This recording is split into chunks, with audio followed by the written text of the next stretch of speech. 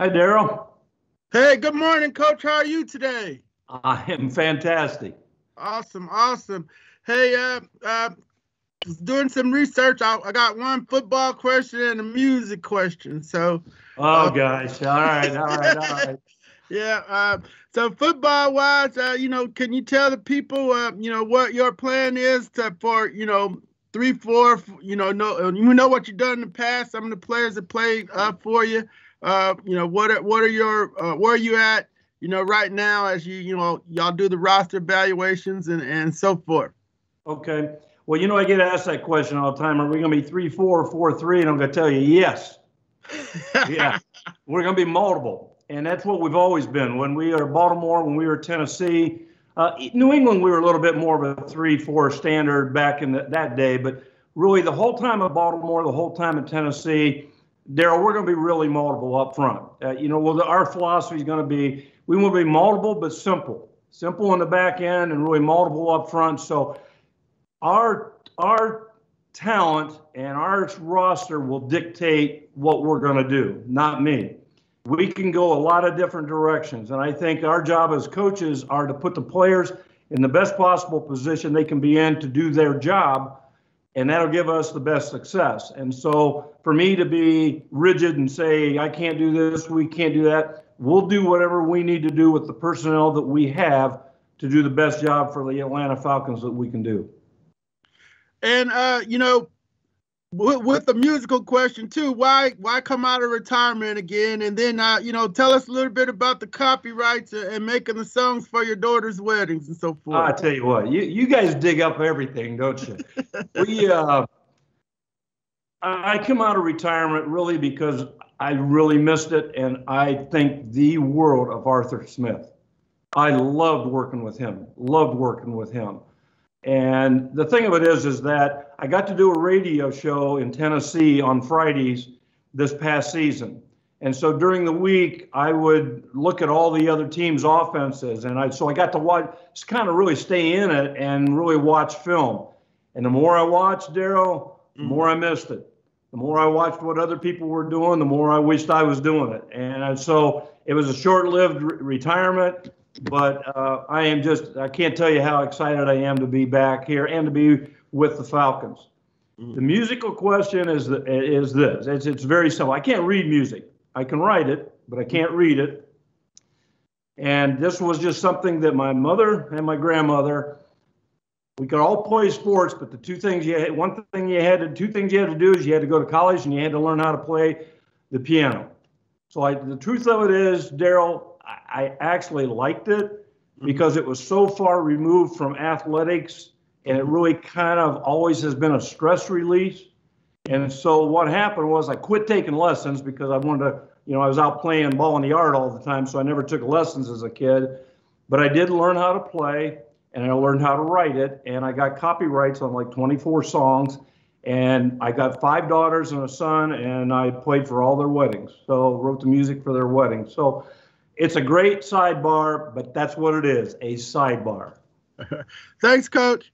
I thank you, Daryl. Now we have Tori McElhaney from The Athletic. Hi, Tori. Hi, Coach. It's very nice to meet you. I also took lesson piano lessons when I was younger, but I gave it up after two years because I wanted to play softball instead, and it was hard to do both. So I get it. well, you went a year longer than I did, so that's good. oh man, I was listening to um, a little bit of the Make Defense Great Again podcast that you went on not too long ago, and I was quite a bit blown away by the information you shared, and I took a lot of notes. Um, at that time when you were doing that podcast, did you think then that you were going to get back into coaching? I didn't. I didn't know because here's the thing about it is, Tori. I will tell you that um, I wasn't really the the thing that really got me back into coaching was Arthur Smith. I really wasn't really just saying, okay, well, I want to get back into coaching. I'm gonna put my name out there that I hey, I want to get in or I want to go here there. That wasn't the case at all.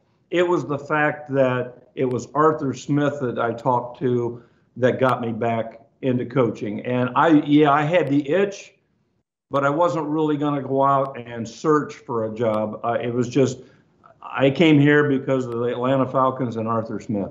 Mm-hmm.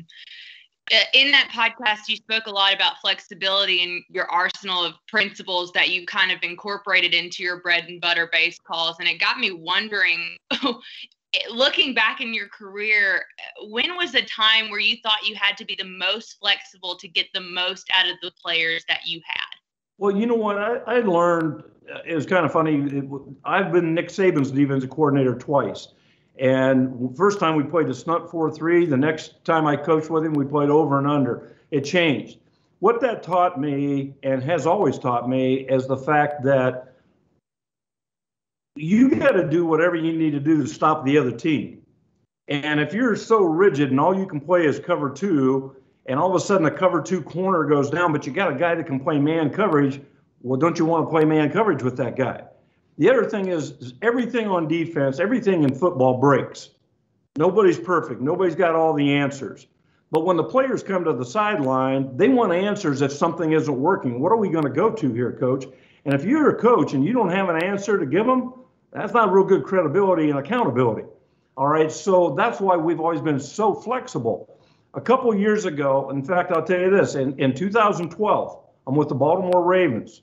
We lost Ray Lewis for 10 games. People don't remember that. We lost Suggs for eight games. We won the Super Bowl. Well, during that time, we also lost a couple corners. We changed weekly. We had new guys in there every week changing. And my job, our job as coaches, was to go out and win and do the best we can and put guys in great position. Well, I think that obviously worked pretty well to our advantage because then we got those guys back for the playoffs and made a great run. So that's why we want to be flexible, is because look, the roster changes all the time, not only year to year, sometimes week to week.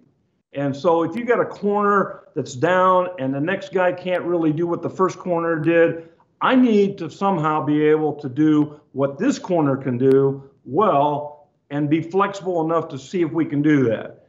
Um, Everybody'd like to have a perfect defense where everybody can do everything, but that's never going to be the case. So that's that's why we want to be flexible. Jason Butt from the AJC. Hey, Coach. Uh, welcome to Atlanta. Uh, Thanks, um, Jason. Hey, so uh, you know, obviously, you mentioned that um, uh, you came out of retirement for you know for Arthur Smith and for um, you know the, the Falcons. But what is it about Arthur that led you to to want to come out? What makes him the, the kind of coach that that you like working with and for working with previously at Tennessee? Well, first of all, I got to see him, you know, in front of his offense at times, and just being around the staff and how cooperative he was there. But the biggest thing was just the cooperation and when you have an offense and defensive coordinator, sometimes that can be very competitive within a team you know, and you go out to practice and somebody's trying to beat somebody else. Well, well, that's really not the purpose of practice. The purpose of practice when you're practicing together is to be get, get better. You know, we may want to do something that we wouldn't normally do, or he may want to do something that we wouldn't normally do that in this situation, but we need to practice it and get good at it. Not all coordinators, not everything always coordinates like that. Arthur Smith was incredible if I would go to him and say, you know what, I need you to do this on offense for me today so we can practice against it. It may not be something they even hardly do. He would come to me and say, hey, I need you to play this coverage today in practice. Can you give me a couple snaps of that? Absolutely. He was incredible to work with. But the other part is, I just saw how he was around the staff, around the players. Um, I, I just, I, I just think he's an incredible, incredible coach. And then um, watching the league from afar, uh, what did you see out of the Falcons defense? Uh, and, and also, have you been able to familiarize yourself even more so with the personnel since taking this job? Yeah, I really have. Since I took the job, I actually really kind of dug in quite a bit because normally as a defensive coordinator, I don't watch other defenses all that much. I watch their offenses, but I've really dug in. I tell you what I really, really like about them is first of all, they're young. And second of all, they run and they like to hit. And those are two things that you don't really, it's harder to coach. You can do a lot of things in scheme, you can do a lot of other things, but, you know, I, I loved watching these. These guys will run to the ball, and they can run. And so that to me is the first thing that I looked at. I don't care about their what they did scheme wise. It's not fair for me to uh, compare or to even comment on what they did because I, I wasn't here. I don't know. But I know this they can run and they can hit. And I love that. Awesome. Thanks, Coach. Thanks, Jason. Kelsey Conway from AtlantaFalcons.com. Hey, Coach, nice to meet you. I do not have any piano skills, so I can't really comment on that part of the Okay, Kelsey. Um, but looking at you know your background as a coordinator, you don't have um, much experience coaching against uh, coaching NFC teams. Are you looking forward to um, having some matchups with some of these teams that you know you typically didn't see a whole lot being in the AFC? Uh, yes, I do. But uh, you know, but then again, you know, over all these years, we always played four NFC teams every year. You know, even if we were in the AFC, there's always been four teams every year in the NFC we've played. So there really hasn't been a team out of the 32 that I haven't ever played. So I, you know, teams are teams. The, the thing about it is, is I don't think that's a big difference at all. Uh, there's a lot of times at Baltimore or, or New England or even Tennessee, we would get players coming over from the NFC, and we would be losing players. There's still players playing players, and uh, you know, and so I, I don't think having been in the AFC all this time has really any bearing on me. I think uh, uh, any effect of coaching against the NFC. And you said that your mantra is going to be about keeping it simple. How do you go about keeping it simple when you're going to be switching back and forth between the three four and the four three? That one part's the front. The front's not going to be real simple. The front's going to be very multiple. The back end doesn't have to necessarily. Uh, it can still stay simple. You can still keep the coverage wise. You know, I don't want to tell you our trade secrets of what we do here in Kelsey. So, but the the point of it is is that. Um, you know that's one of the things that we will require though out of our guys on defense you know we uh, we have really three criteria that, that we look for in a defensive player number one we want them to be tough physically and mentally. Number two, we want them to be smart. Because if we're going to do a lot of things and you want to change a lot of things, you got to be able to smart and be able to, to adapt. We're never going to run everything in every game, but we can switch from week to week. And I've been fortunate enough that that has always been the case. And then number three, we want them to give the best effort they can possibly give. If you can do those three things, if you're tough and you're smart and you give effort, you're going to be a good defense. Allison Mastrangelo from WSB. Hey, welcome to Atlanta. I can see just the energy and your passion for coaching. Just where has that come from, and, and what do you love about coaching defenses? Well, the defensive part of it, I actually just it's it's it's fun drawing up things and doing things and seeing what you can do against somebody on offense because you you have to adapt. They know what they're doing. We have to adapt and react to it, and it's just been so much fun uh, doing that. I've just that's always been the side of the ball that I've gone to. But I think the here's the the, the thing that Allison is the enthusiasm. I, I've, I've loved every job I've had. Everybody goes, "What's your favorite job?" All of them. Who's your favorite player? All of them. If you don't love what you do, how could you do it for 48 years? You know, so it's just it's it's a passion, and and look at. If you look at the people that I've worked for, Saban twice, Lou Holtz, Bill Belichick, John Harbaugh, Mike Vrabel, and now Arthur Smith, and I'm leaving some out. It's just they're all great coaches, and they're all different. And everybody says, "Who who are you like?" I hope all of them. I hope I'm like me. You know, I don't really want to be Nick. I'm not going to be Nick Saban. I'm not going to be Bill Belichick, John Harbaugh, any of those guys. I'm going to be me. And so I think that's the thing that I've learned over the years. And just be you. And you know what? If you love what you do, it's going to come across to the players. It's going to come across along to the coaches, the fans, everybody else, and you're going to have good times. I've been fortunate in 47 years to never have been fired. That, that's unique for a coach. That's very unique. But I contribute that to I love where I am. I'm not looking for another job. I love where I am. I'm really excited to be here in Atlanta. And I was just curious, have you had a chance to kind of reach out to any of the guy, any of the Falcons players, or did any of them reach out to you uh, when you joined the team? And if they did, what they say to you? Well, I, I really haven't talked to many of them yet. I've talked to a bunch of the Titans players and that uh, wished me luck and all that stuff, and they were great. And even some of the Ravens uh, guys have reached out to me. I haven't, but I just got here to the facility, and before I leave today, I'm actually going to try to get everybody's either phone number or email. I'm going to try to reach out to every guy on defense, introduce myself to them, and just tell them I can't wait to see them. I hope we don't have to do this Zoom thing forever. So I hope we get a chance to actually, you know, do stuff in person. Paul Newberry, AP.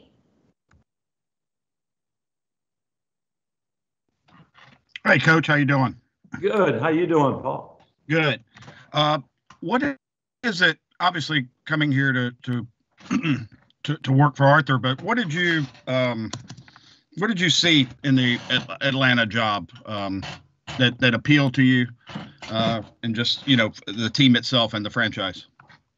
Well, over the years, I just I've you know we, I've played against Atlanta a couple times and stuff, and and uh, you know they they got daggone good offense. I'm telling you what, these guys can they they're talented, and I think this defense is very talented too. And I I just I've always loved this area, Atlanta. It's, it's, obviously it's a great place to live. It's a great place to be. Um, just the whole thing attractive. You know, I mean, I remember watching just when not all that long ago they were in a Super Bowl, and you know, I'm playing very very well and things. Hey, things in this league can change week week to week, year to year. Obviously, you look at the teams that were in the playoffs this year that weren't in the playoffs before and some teams that were that are, aren't. I mean, it can change all the time. So it really didn't have anything to do with that. It had to do with I think Atlanta has always been a really really good football program. I think they got one of the best owners in all of football. Uh, the you know and and Mr. McKay and and now Terry Fontenot. I mean, it, it's just it's kind of all that stuff that was what really made it appealing. One more thing for me to kind of following up on what Allison asked you. How how do you, you know, it's easy to say I love my job and you know that's that makes you successful, but when you've done it for so long, all of us, I mean, I don't know that I have the same enthusiasm for my job that I did 30 years ago. How how have you? How do you maintain that over such a, a long period? Is there is there any secret beyond just you know loving what you do? I don't know. I mean, I'd, I'd like to give you an answer on that. I don't really know. I just I love coming to work every day. It's it's the best fraternity you could ever belong to, you know, in your life. And uh, and I think you know what really I think Paul makes it that way is the staff.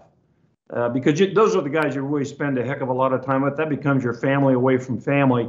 And I've just been blessed to be around such great staffs. And this defensive staff, I mean, the whole staff, I don't know everybody on offense, I know everybody on defense.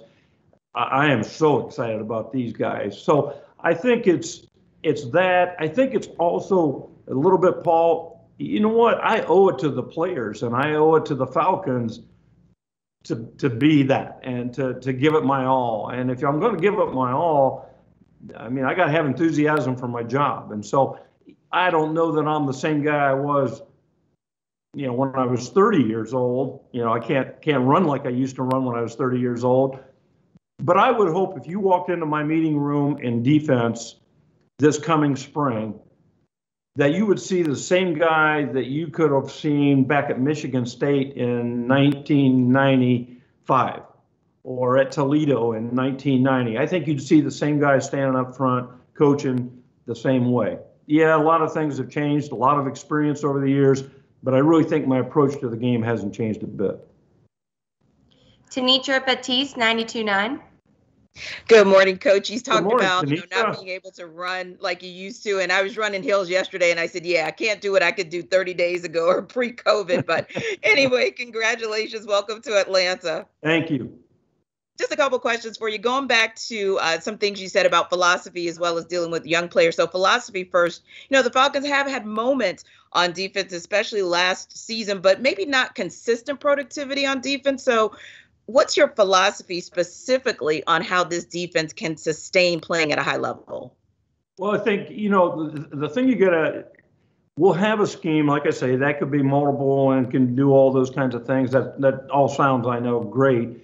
But I think the thing, the way to sustain is keep things fresh too. Sometimes it can get boring as a player. In all honesty, I've had I've players have a lot of input into what we do. You know, I used to have what we called a uh, uh, what I called signal callers meeting. And what it is, I would take a guy from each position and I would meet with them before I even finished the game plan, saying, "Here's what we want to do. What do you guys think?" And you know, I've had some great guys with Ray Lewis and Tedy Bruschi and all those guys over the year, and they'd have input because they're the ones that are playing. I, I'm not hitting anybody out there. So you know, they they have they're going to have input, and I think they feel good about having input, and I think they get excited every week when uh, you maybe add a little something here or there just to kind of throw them a bone that hey, we're going to th- throw this at Tom Brady or we're going to throw this at at somebody, and so I think they get excited about that, and I think that's how you kind of keep it fresh. And you know, hey, to your point, watching them play, you guys watched that Kansas City game, didn't you? They look pretty daggone good on against Kansas City. Now they played as good as as anybody has against them. So that's what we're going to pull for. That's the stuff that we're going to build on right there. We don't need to build on something else. We're going to build on that, that performance and how they played right there. Because that was a great team they played, and they, they had a chance now. They had a great chance, and defense played spectacular. So that's what we're going to build on. Yeah, and coach, you talk about the players getting excited when Deion Jones started getting the chance to blitz more. It's like a light bulb went off for him, so that variation must mean something. And then you mentioned that the Falcons defense does have a young crop of players versus say dealing with maybe a lot of veterans with the Titans and with the Ravens. What are what are the pluses and maybe challenges you see in having to deal with that young core versus veterans, especially in your year one? I think it's great. I, I, I love it from the standpoint of sometimes when you get a veteran player who has done the same thing forever and ever, you know, they're kind of set in their ways and it's kind of hard to teach them a new way that you might really kind of want because well, I've never really done it that way. And so I'm really reluctant. I've been doing this for 10 years or 11 years and I don't know. Well, when you're a third year, usually second year, fifth year player, it's kind of like, yeah, hey, anything, whatever, coach. You know, and that's kind of what, you know, kind of, you know, what you're you're really kind of looking for. And uh, I, I, had a point there, but I, I lost it here that you had brought up. But um, you know, we're just we're excited, very excited. We got time for one more question from Daryl. Yes, Coach. Um. Hey, Daryl. Yeah. Um. Yeah, been knowing you back since the Miami of Ohio days. Been following you since then. I was at the Cincinnati Enquirer back then.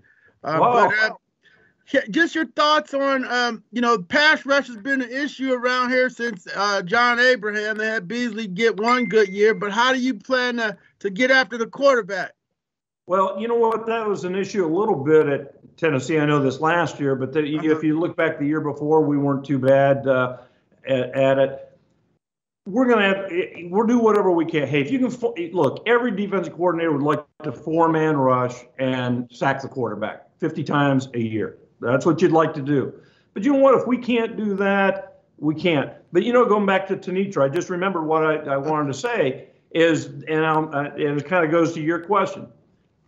One of the things that our defense will know is if you are on our defense, every position will blitz every position, not just the safeties, not just the linebackers. It's corners, it's everybody. If you go back a couple years ago and just watch just two years ago when I was at Tennessee, I want the offense to know we're coming from everywhere. It, you can't just say, hey, number 54 is going to blitz. It could be 24, it could be 20, it could be 26. I'm talking about our secondary guys too. You know that that look, I want them to account for everybody. But you know, as a player, it's kind of like as a receiver. I want to run a route, but I want to know that I got a chance to get the ball. I don't want to run a route and know that I'm never going to get the ball, right? Well, if I'm a defensive player and we're going to blitz or we're going to pressure, I'd like to know that I'm going to be part of that thing too. And to your question, Daryl, then hey, I'll do we'll do whatever we have to do pressure wise or four man rush wise or whatever we have to do to put pressure on a quarterback. Thank you, coach. Awesome. Thanks, Coach. Thanks, everybody. Enjoy the rest of your Friday. Hey, look forward to meeting all of you in person. Thank you.